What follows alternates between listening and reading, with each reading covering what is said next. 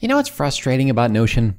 It doesn't have any data visualization. Yeah, cool. I, it looks aesthetic overall, but like you need something like grid.is to make it look good. And I've always wondered what Grid was like. I mean, looking at Grid.is, you'll see that it is a wonderful data visualization tool that has a myriad of different graph types and connectors that allows you to take data sets and turn them into nice visualizations. So for me, I know that I'm somebody who has client work, has projections I like to hit for myself, and this grid integration really allows me the opportunity to explore at a pretty solid price what I want to do in Notion while having graphs in there. So for free, you get unlimited documents and sharing. For the pro plan, you get a Slack integration, user groups and conversations, custom colors and fonts, document statistics, and embeds without watermarks. And I will point out the fact that, hey, it's 29 bucks a month because professionals will get an ROI on this. Okay. Okay, so jumping right into this, you'll see that there are some really beautiful templates that exist. So I'll just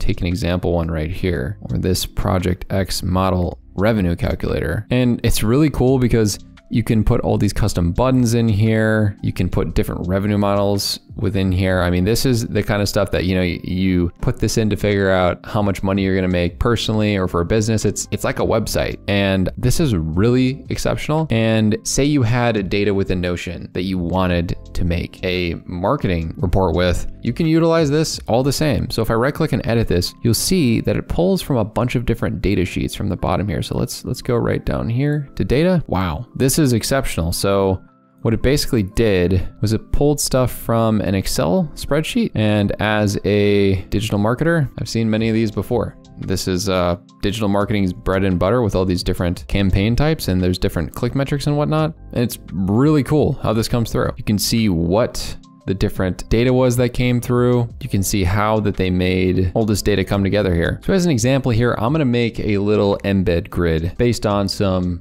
random fun stats that I'm gonna definitely not make up right now. So if I made a database within here and I wanted to call it sales projections and another one I wanted to call demographics, actually I'm gonna go with some real data that exists, some stuff that be actually decently useful for this. Or let's do digital marketing metrics, make a couple number properties. It'll be impressions, clicks, and conversions, and cost. And then I'll have metrics here. And then I'm gonna put some demographic data, change this number to a percent, have it be 42% female, 58% male. And if I made a new page here, what I can do is go here and connect to a cloud source, which in this case would be Notion. And I can look up digital marketing data, metrics, and let's grab the other one, which would be demographics. And if I press allow access and select digital marketing metrics here, we'll have the metrics come through. So then what I can do is I can do a slash column chart and I can select some data here. So say I wanted to grab these metrics. And a nice thing that you can do is utilize the scratch pad here so that you can kind of tweak what's existing. And I can also add another data source, which would be the demographics. So if I grab this, let's do this. In the scratch pad, I'm actually gonna go with the demographical data first. So easy one, I'm gonna go into edit mode and put gender, male, female, then pop over the numbers. So 58%,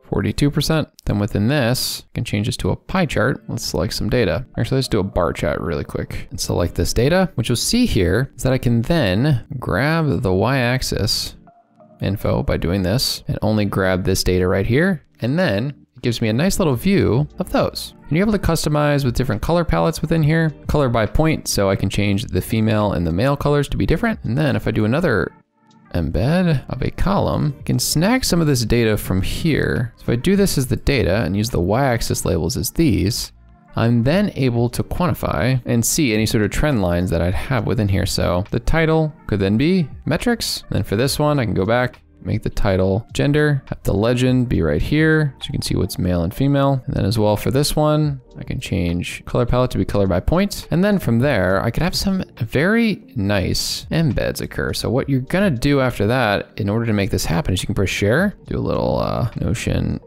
embed as an example, and then you make the document public, right? And then from there, click on embed options, copy the embed. You can go back in here, do slash embed. And the next thing you know, you have really beautiful charts placed right into the software. Now, obviously, a better option for this be I was kind enough to give you light theme so you can look at it. And say I wanted to present this to somebody, I could obviously segment this gender and demographics data in a different way. So what I could do is I could do slash column two, showcase the data in maybe a smaller set over here with this being a little bit more condensed, just like this. Pop this over here, and pop this demographic section right over here. Maybe even flop the two. But you can see how very quickly and easily I was able to take some of the data that I had within Notion and give a better look at it rather than what is native within Notion. Because I can even hover over these and see the metrics. And within this, I can do a lot of the same stuff with like minimums, maximums, number formatting, and stuff that you're going to be able to do with any awesome and well set up application that can make graphs in DataViz. Check out this video on how to improve your productivity